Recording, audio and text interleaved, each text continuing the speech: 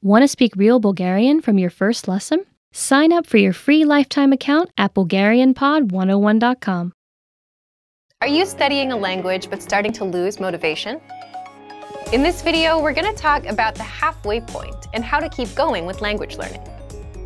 After six months to a year of studying a language, you might be feeling like you're losing a little bit of steam. Maybe you started out strong and now you're feeling a bit low. Maybe you aren't seeing the results you wanted, or you think your efforts aren't paying off. But the reason for that might not have anything to do with your studies. It might be more an issue about your reviewing and your goal setting. 1. Why you should review your past language goals. When you set goals, do you ever go back to review your progress? It can be a reminder of how far you've come and help you keep your motivation up. Let's say you started learning a language and you've been at it for a few months. In month one, you're excited and motivated. In month two, you're still going at it, but maybe the motivation is not as strong, and you want to make sure that you don't fall off, unfortunately, as most people do. So you work hard to keep at it. By month three, you're kind of on autopilot and learning with whatever has been working for you. That sounds like a good place to be, cruising on autopilot. Well, it may seem like a good place to be, but the problem is by month four, five, or six, if you've been coasting along for too long and haven't had any significant improvements, you may start wondering if you're actually learning or if you'll ever master the language. You might start losing motivation, and worse, you might even quit. If you're learning by yourself, it's hard, and if you're not tracking your progress, by month four or five, you might realize that the textbook you've been using isn't helping you increase your fluency. You might think you're going nowhere. So the reason to review is to check your progress. Maybe you can speak none of your target language in month one, but at the end of month three, you can speak three minutes. So that's some progress. And if you're at eight minutes now, for example, then you can definitely say that you've improved since the start. It's good for motivation, just knowing that you got a return on your time investment. So reviewing is good for progress and motivation.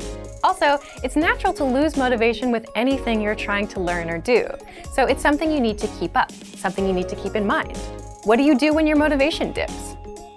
You can stop, take some time to review and reflect. Is your motivation dipping? Are you studying less? Do you feel like you're not making progress? And if you say yes to these questions, then you can work on boosting your motivation to help you keep going. How do you boost your motivation? Well, do you remember anchor points? Anchor points are things that connect you or anchor you to your goal, such as a language class or a program. It could even be relatives or friends who speak the language, TV shows in that language you like, or an upcoming trip to the target country. All of these things, in one way or another, keep you anchored to your language learning goal. So if you're watching a TV show in your target language, then it's natural for you to want to understand it better, and your desire to learn goes up. If you're taking language classes where a teacher expects homework from you, that's another connection to the language. So you do the homework, you attend classes, you learn more. Ultimately, if you want to boost your motivation and keep going, you should get more anchor points. But how do you do that? Let's jump into the second part. 2. How to review your progress and maintain motivation. How do you review your progress? First, you always set small, measurable goals and always track results. The study resource you're using can be used for your review as well. It's easy to get demotivated and think that you have learned nothing. But if you're using a textbook, for example, you can set a number of pages, and that can be a really good motivator, something to reach for. Making sure you're getting through and then testing yourself on material is a little harder if you're not actually using your textbook though, so make sure that you actually stick to the plan you set for yourself. Again, the tool you're using is not so important, but just make sure whatever you use, you measure it and track your progress. Reviewing is as simple as looking at your past goals and results. You can also do it the old school way and look through your notebooks, see how much you've written out. In fact, we have something called the Dean's Date with our Premium Plus plan, where our Premium Plus users send in all of the work they've completed with their teacher. The writings, the recordings, the assignments, and you can see it all, everything that you've done. Then you can see your actual results of your three months of work. Everything you've accomplished is in one place. Do you ever run out of motivation? Of course you do occasionally, and it's natural for everyone's motivation to dip after some time. Then if you lose motivation, how do you keep going? Just as we talked about earlier, add more anchor points, more connections to the language, whether that means enrolling in in-person classes at a real language school, planning trips, or signing up for a test. Those anchor points help you stay motivated. Your main ones need to be things that will keep you interested in your target language or the people in your life connected to it. These are the things that will keep you motivated. But it's also important to remember whether you're struggling or you're progressing rapidly that you have to keep your learning adaptive. As humans, we are adaptive.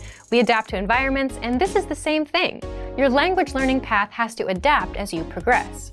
If you're progressing faster, there's a way to adapt. If you're progressing slower, there's also a way to adapt. 3. How you can keep going past the halfway point.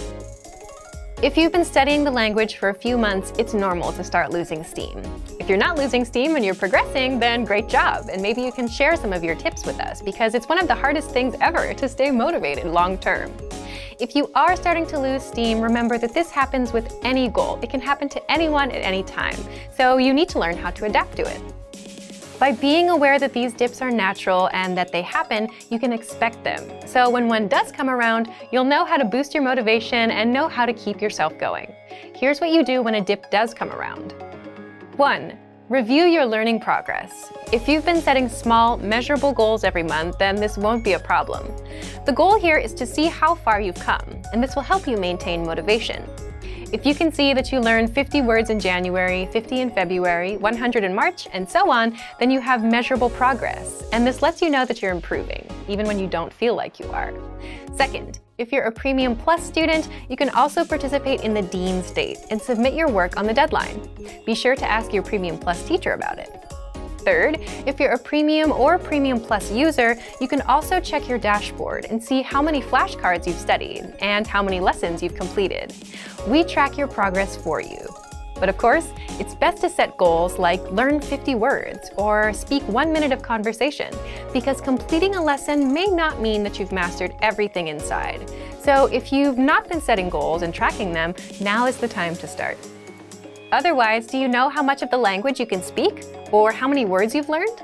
If you don't know, then you'll feel like you're floating around and not learning anything. So be sure to set small, measurable monthly goals. Fourth, create more anchor points to boost your motivation. Anchor points are connections to the language that keep you anchored to the language and your goal. It could be friends or relatives who speak the language, TV shows in that language you like, an upcoming trip to the target country, language classes, or language programs. All of these things, in one way or another, keep you anchored to your language learning goal. So if you started learning a language because your relative speaks it, that motivation may not last forever. It may help you in month one or month two, but by month four, five, or six, your motivation might wear off. But you can decide to enroll in a class or start watching a TV show in that language. That will give you some new reasons to keep going to the language. In a way, you give yourself more reasons to learn. A lot of the time, the reasons why we start something are not often the reasons why we continue them. So don't be afraid to adjust your motivations as you go along. If you've reached a language milestone and are starting to feel a little less motivated, just take a look at these tips. Thorough review, setting anchor points, and reviewing your study methods will all help you keep going in your studies. For more strategies on how to keep studying, just check out our complete language learning program. Sign up for your free lifetime account by clicking on the link in the description. Get tons of resources to have you speaking in your target language. And if you enjoyed these tips, hit the like button, share the video with anyone who's trying to learn a new language, and subscribe to our channel. We release new videos every week. I'll see you next time. Bye! Want to speed up your language learning? Take your very first lesson with us. You'll start speaking in minutes and master real conversations. Sign up for your free lifetime account. Just click the link in the description.